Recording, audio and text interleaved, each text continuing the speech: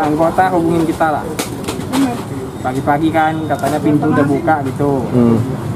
udah saya masih di rumah nah oh, berarti katanya kemasan maling ya udah saya datang gitu jadi congkel semua nah. Oh.